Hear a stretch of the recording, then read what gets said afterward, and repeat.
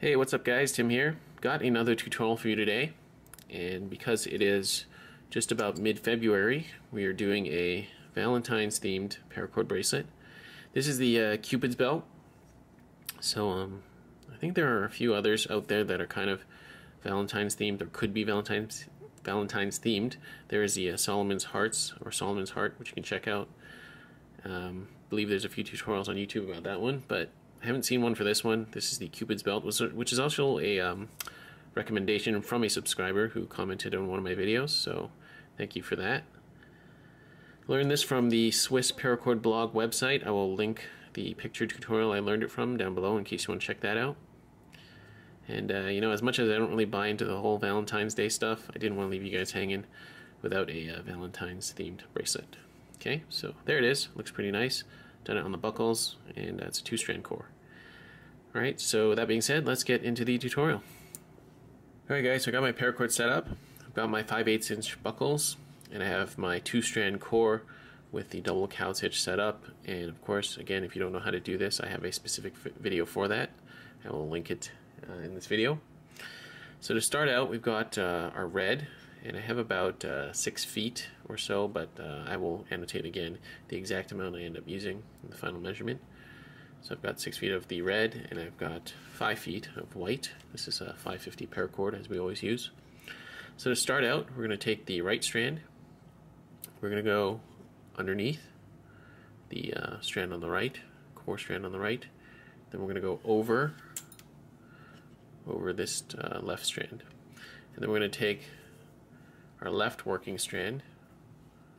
Let's Move that there. Left working strand, we're going to go over top um, this strand here. And we're going to do the same thing. We're going to go under the left inner strand or core strand. And we're going to go over this one and we're going to go through this gap here. Through here. Like so.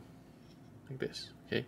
So they were both over under, but uh, we have this one, this strand going underneath the left working strand, and then the left working strand is going under over and then through this gap here. If you get confused, just kind of pause it right here, kind of like a pretzel.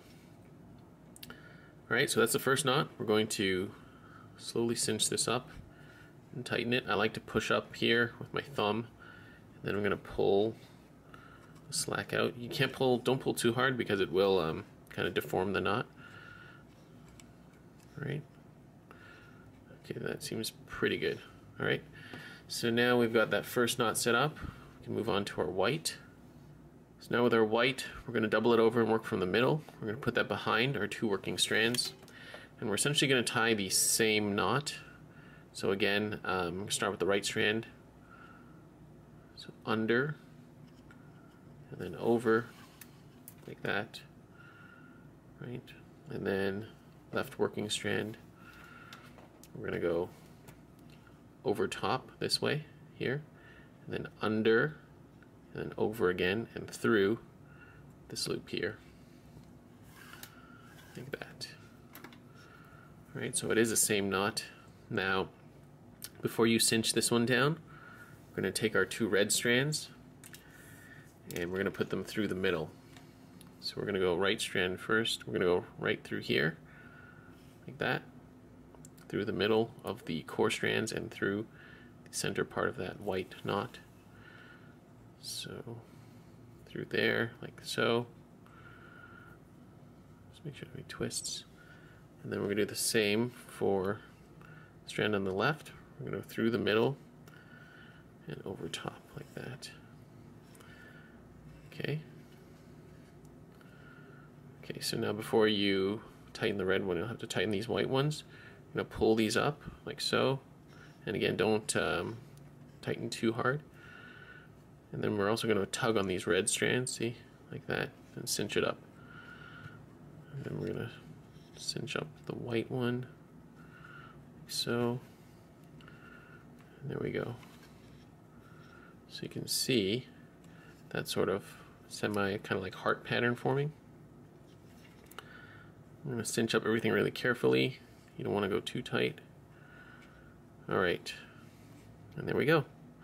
So that's one cycle, and basically we're going to continue that um, going forward. So going forward from here now, we've got you know both these anchored on. We're going to just do the same thing. So we'll go a little faster this time. So remember this was under and over, like so. And then you want to do this one.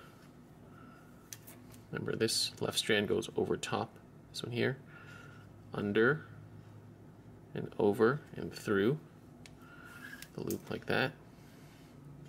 And now same thing, we're going to do, now the white strands this time go through the middle. And I'm always going to go right first and then left. So left goes through next. As you can see, having this on a jig makes it very easy.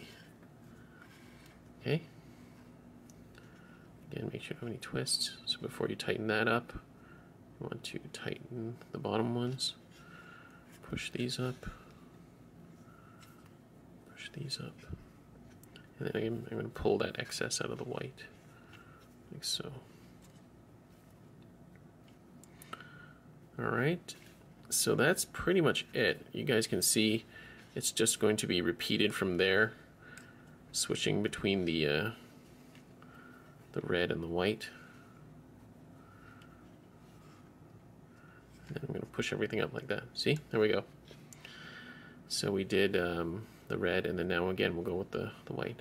So under, over, like that, under, over, loop, and then red through the middle, right over left. And then red through the middle again, like so. And then tighten these. And cinch everything out. Alright, so you can see where I'm going with this one. I'm going to continue tying my cupid's belt going all the way down. And then when we get to the end there, uh, I'll show you how to finish it off. Finish it off. Okay. So there we go. I'm just going to continue going, and I'll see you at the next part. Alright guys, so we come down to the end here, and we're doing our last couple knots. This will get a little tricky. Feel free to use a FID if you need one. So we're going to go over, under, like that. So over here. Again, we're going to go, sorry, under, over is what I meant. Under, over, and this one through here. So we're still doing the same knots, just looks a little trickier because of our limited space. And then cords through the middle, right first. And then um, left one after that. I'm actually just going to do this. So I'm just going to use my FID and push this through like so. There we go. Okay, and uh, actually one little tip I forgot to mention was when you're doing the tightening, what you can do is actually pull all four cords at once, and that actually makes it so it the knots don't deform. Okay, so there we go. That's our last knot, and this one's pretty easy. You can just snip and singe everything where it is. Um, just make sure you give everything a nice little pull. It should be okay. Um, yeah, because as you can see, it there is still some slack there, but I think once you make sure you pull it really tight, give all four cords really nice lockdown, like so, then we can snip and singe everything here, and then we'll be done. Alright, and there we have it guys, I'm done. So as you can see here, I snipped and singed off the excess paracord, and the two middle strands kind of sit through in the middle there. Um, I kind of pushed them in so they don't uh, you know, touch the skin, and the two white ones sit on the side there. So again, just make sure everything's pulled really nice and tight before you um, press them down and snip and singe. Okay, and uh, yeah, that's everything. This is the Cupid's Belt tutorial. I hope you guys enjoy this one. Uh, it's a little different than uh, what else is out there for kind of Valentine's themed paracord bracelets. So if you have any questions or comments, uh, please do leave them down below. I'll get back to you as soon as I can. And uh, yeah, that's about it. Thank you for watching, guys. I'll see you on the next tutorial.